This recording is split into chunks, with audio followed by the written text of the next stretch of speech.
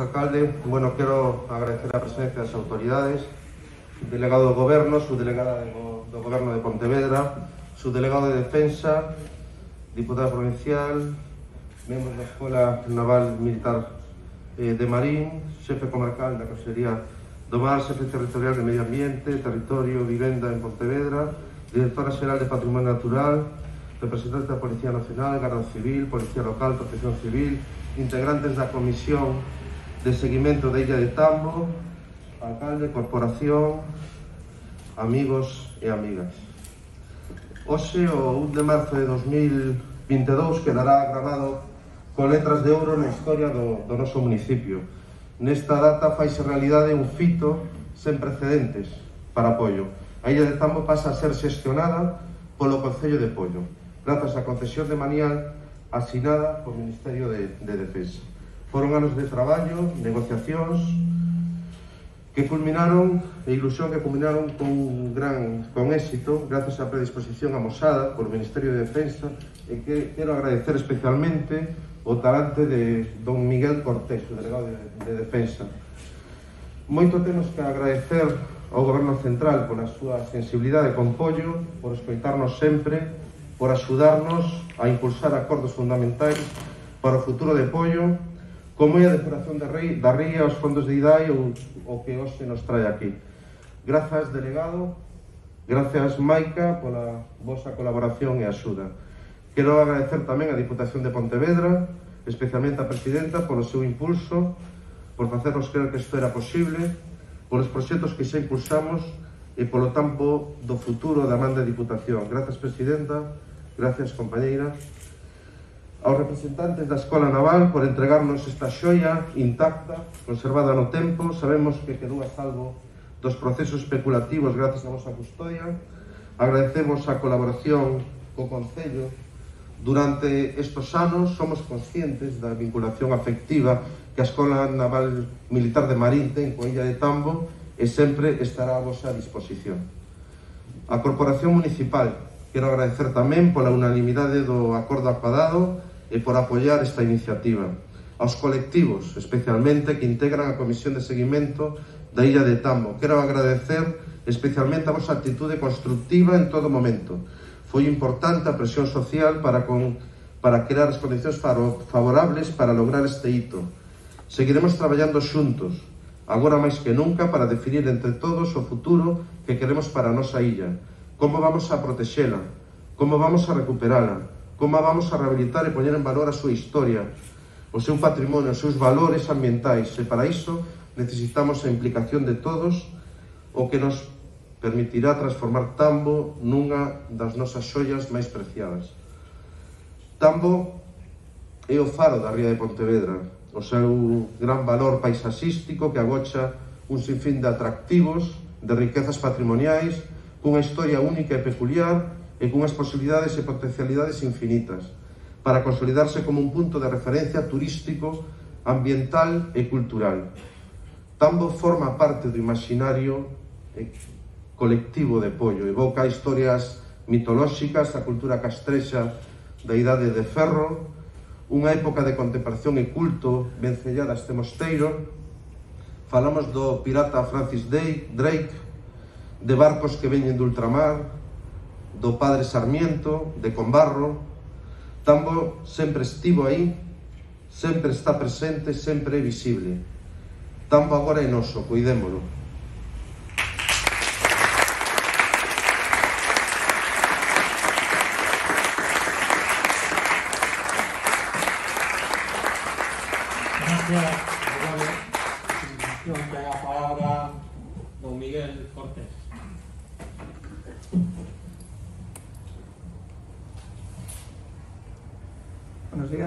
Autoridades. Desde el Ministerio de Defensa, desde que el año 2002 se declaró la no necesidad o la no utilidad como de, no, la, se, ah, empezamos otra vez. En 2002 se decretó la no necesidad para defensa de la isla de Tambo. Desde entonces ha seguido bajo la custodia, por así decir, de la, de la Escuela Naval Militar, que como decía Gregorio, la entrega en perfectas condiciones. La, isla de Tambo para la escuela es un elemento intrínseco. Todos los oficiales de la Armada que han pasado por la escuela han pasado por la isla y todos tienen recuerdos de ella.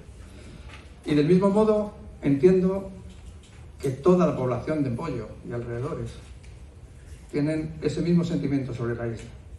La veían ahí, la sentían como suya, inaccesible, y hoy, gracias a Gregorio, y lo tengo que decir aquí públicamente, gracias a Gregorio Agis y el trabajo que ha desarrollado, y en este último año, que es el que he compartido con él, poniendo de acuerdo las expectativas tanto del Ministerio como del Ayuntamiento, y coordinando al final las responsabilidades y las posibilidades de cada uno de, uno de uno y de otro, hemos llegado a hoy en el que por fin se cede la isla al Ayuntamiento de Pollo. No es que se la quite defensa de en medio, es se abre al resto de los ciudadanos. El proyecto que tiene Pollo para la isla es impresionante, está hecho con una ilusión tremenda y efectivamente el papel lo aguanta todo y ahora es cuando empieza el trabajo de verdad. Mucha suerte, quedamos a disposición del ayuntamiento y vuelvo a reiterar mi agradecimiento a Gregoria Gis por su actitud y trabajo durante este año, que ha sido una, la única forma de que hayamos podido llegar hasta hoy. Muchas gracias.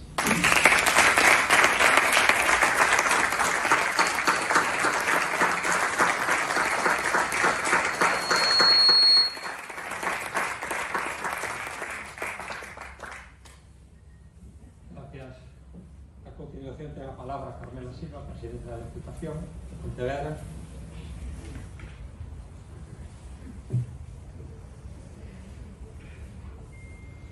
O día a todas e a todos. A verdade é que hoxe é un día certamente emocionante. É un día feliz. É un día para ter un enorme sorriso no rostro.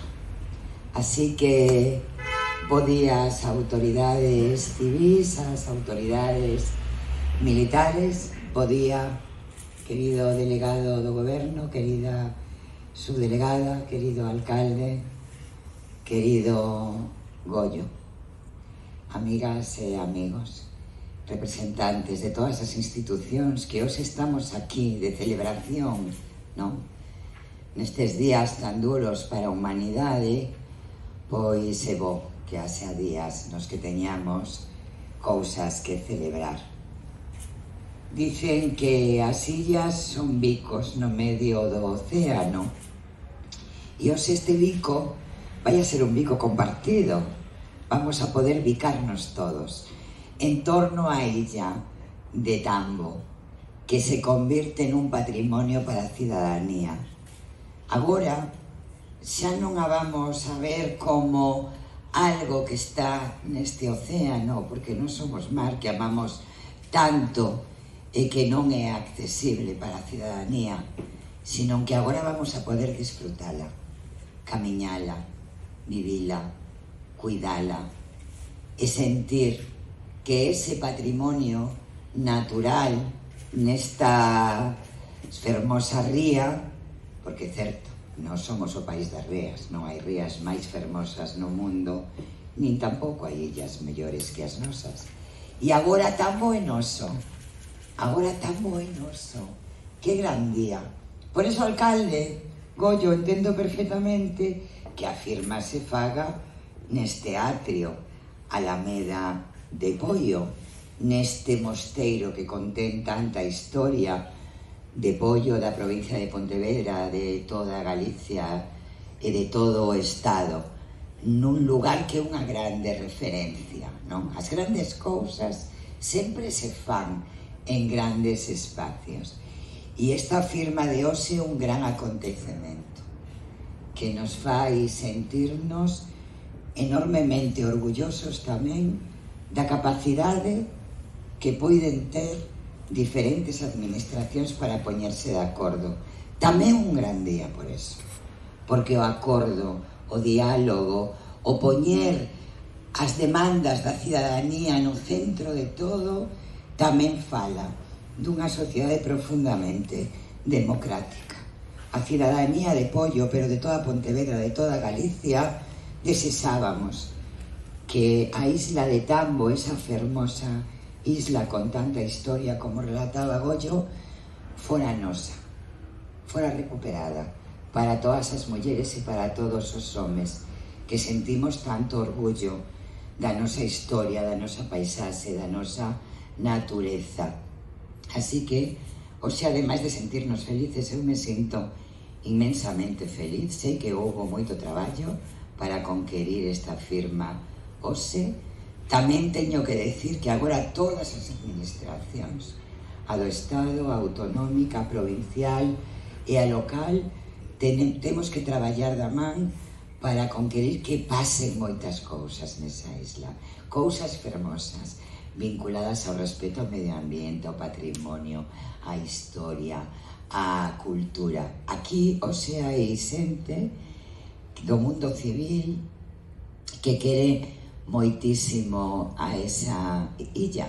Vou a nomear a unha persoa, aínda que todas as que estamos aquí, pero o arquitecto Portela, dende que eu cheguei á Deputación de Pontevedra, non deixou de falarme cada día que nos atopábamos da illa de Tambo como un elemento fundamental a recuperar e a democratizar. Así que aquí a temos, querido César, xa é do povo, a illa de Tambo e de todas e de todos. Parabéns.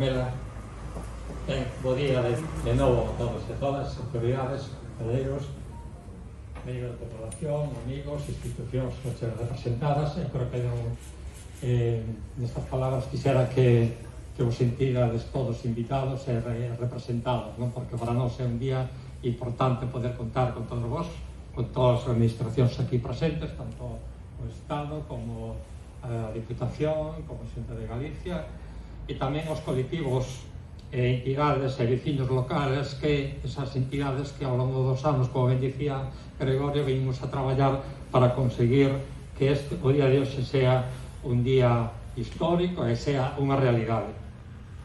E facémolo neste acto, como dicía a presidenta. Non sei se que a presidenta ten esa, ese don de ler as mentes dos demais, pero sí que teño que dicir que o facemos neste acto non por casualidade, neste, neste lugar, Aquí neste lugar atopámonos rodeados de historia, de pedra, A Casa do Concello ao frente, a igrexa parroquial á miña espalda, o mosteiro de Pollo, o Padre Superior, que non me olvido de ti, porque tamén está o Padre Superior de aquí acompañándonos, e é estas paredes, estes eh, edificios, recollen a historia viva do noso municipio, a historia viva do noso Concello, e, polo tanto, tamén a historia viva da Illa de Tampa. E hoxe é un día para sentirse efectivamente felices. O camiño non foi fácil. Sin embargo, ao final, ao final deste camiño atopamos a luz, atopamos o encontro. E realmente sí que aquilo que, pare, que parecía o imposible tornouse en realidade. E iso é gracias a esa colaboración institucional, a ese apoio ese traballo que se fixe tanto da promoción económica como tamén dos servicios da Escola Naval da delegación do goberno e das entidades que tiñan ese digamos, ese compromiso de chegar a este punto que, que chegamos pois hoxe é unha realidade. Hai que dicir que un espacio como a Illa de Itambo despois do, do camiño recorrido ahora empeza un tempo novo para ela. E non podemos facer solos. Temos que facelo acompañados. Acompañados dos colectivos, acompañados das institucións. Porque a illa merece que entre todos nos poñamos de acordo para poder poñela en valor e para que ese espacio protegido durante tantos anos poidámoslo poñer ao servicio dos ciudadanos das mellores das condicións. Para min é un día de orgullo, quizá un deses días, dicía antes, e onde se pode sentir máis contento, máis feliz de nacer neste Concello, de vivir neste Concello e, por suposto, de ser alcalde deste Concello. Moitísimas gracias, mil anos, mil primaveiras máis para a Illa de Tambo, esperemos a colaboración, como sempre, de todas e de todos vós. Muchísimas gracias. Vale. Gracias a Sergio ao tema desta o delegado de goberno en Galicia que nos acompaña hoxe en este acto.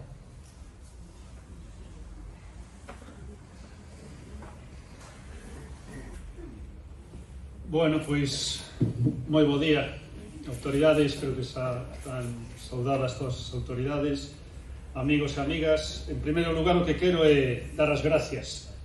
Gracias, alcalde, gracias aos membros do goberno local, gracias aos membros da corporación, gracias polo amable recibimento neste acto, nesta visita apoio, eh, pois para participar nun día, como decides, histórico. Nunha xornada creo que, que vai a marcar unha data que vamos a ter todos ben presente na, na memoria.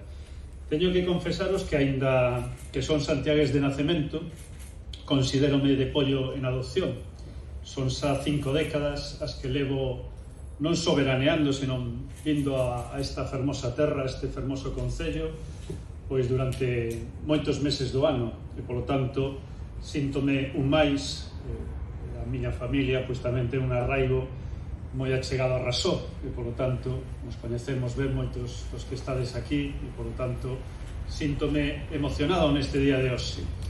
Teño vivido os meus mellores anos de mozo percorrendo esta costa, con esta ría, eh, nestes montes, con andainas que nos levaban por medio do monte para ir a xogar ata o colexo de con longas camiñatas que nos levaban por Covelo pois ata chegar ao fermoso con barro, e desde logo vivido moitos momentos fermosos mirando precisamente a illa de Tambo. Así que acompañaros nun acontecemento tan importante, e histórico, como decía, como este de OSE, pois é toda unha honra. En primeiro lugar, porque desde logo, eh, para poder formar parte desta historia, eh, aun que leva tantos anos vivindo aquí, pois é un día pois moi sinalado, pero sobre todo porque despois de 70 anos poñemos a disposición da veciñanza, como ben decíades anteriormente. Non só da veciñanza, senón tamén dos miles de visitantes que se achegan cada ano pois, a esta maravillosa terra. Quero remarcar, polo tanto, este fito histórico que é o resultado da aposta, como ben decía a Presidenta da Diputación, do diálogo, da cooperación estreita entre o Concello e o Goberno, neste caso co Ministerio de Defensa.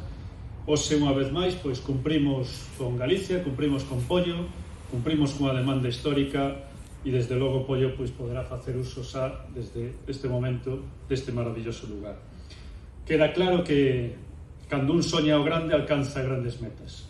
Polo tanto, se eh, os aquí presentes recollen os froitos do traballo realizado ao longo de moitos e moitas xornadas e que debemos agradecerlle pois, precisamente a súa constancia e a súa firmeza. Ollo é unha maravillosa vila, unha vila que desde logo vai a vanguarda e non son só, só, só palabras, desde logo son feitos, é unha realidade que digo ademais con coñecemento de causa de que leva vivindo aquí pois 50 anos e polo tanto vendo percorrer pois eses anos e esa transformación deste concello. Agora mesmo son máis de 2 millóns de euros os que contades pois para precisamente seguir transformando este concello con financiación europea, o cal tamén demostra o bo traballo que se está a facer desde o concello e as administracións e polo tanto, boa porque non buscamos outra cousa que un novo modelo turístico, un novo modelo económico e unha convivencia máis sustentable e o estades a lograr precisamente cos fondos europeos pero tamén cos fondos que van a vir de transformación e de resiliencia. Desde logo, coa asignatura desta cesión, OSE, temos un novo exemplo de constancia, temos un novo exemplo de transformación, ademais de toda unha oportunidade de crecemento que sei que aproveitar e desven. Estamos, insisto, ante un fito histórico co traspaso ao Concello deste espazo de tanto valor patrimonial, pero tamén de tanto valor ambiental. En plena ría de Pontevedra, Pollo, desde logo, vai incrementar aínda moito máis o seu xa enorme potencial turístico e vai a dispoñer dun novo espazo protegido de primeiro nivel do que poderá gozar toda a ciudadanía dando así resposta, creo, que a unha bella reclamación.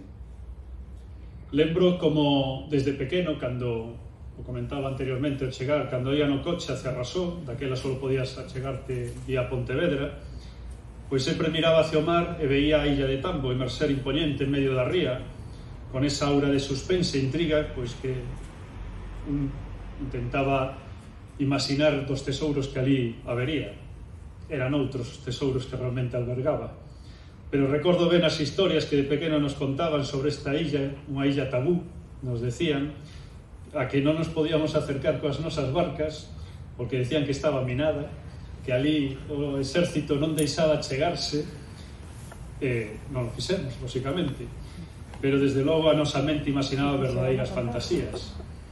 Pero agora a fantasía convertese en realidade. Desde logo Ollo vai contar cun novo atractivo turístico que debe ser sustentable e respetuoso co medio ambiente que é precisamente a liña de traballo na que o goberno precisamente no marco do cumprimento dos objetivos de desarrollo sostible 2030, pois traballa.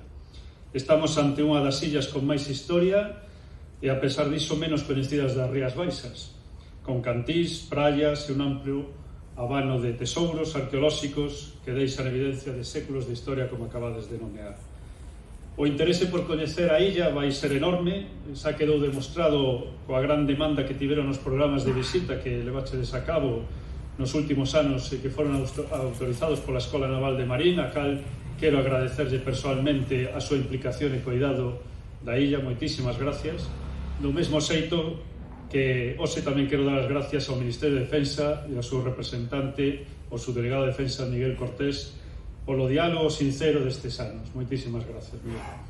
A cesión ao Concello desta solla non fará máis que incrementar o seu interese gracias aos novos usos turísticos e sociais que o Concello pois, vai a poñer en marcha, vai a desenvolver, sempre, como digo, desde o respeto pola conservación do espazo que sei que está garantizada porque precisamente así o recolle o propio prego de condicións do acordo de cesión que se acaba de asinar que garante que o espacio se vai a utilizar precisamente para o que ten que ser utilizado, para fins sociais, culturais ou ambientais, impedindo calquera posibilidade de especulación urbanística son consciente de que o proceso que hoxe culmina pois foi longo, foi complexo, que desde logo se acada gracias pois a esa teima que moitos de vos tiveches, e por iso quero dar tamén a noraboa eh, as administracións, ao Ministerio, ao Concello, pola súa predisposición e diálogo, que permitiu que Pollo faga realidade pois por fin unha demanda histórica do Concello e de toda a súa veciñanza,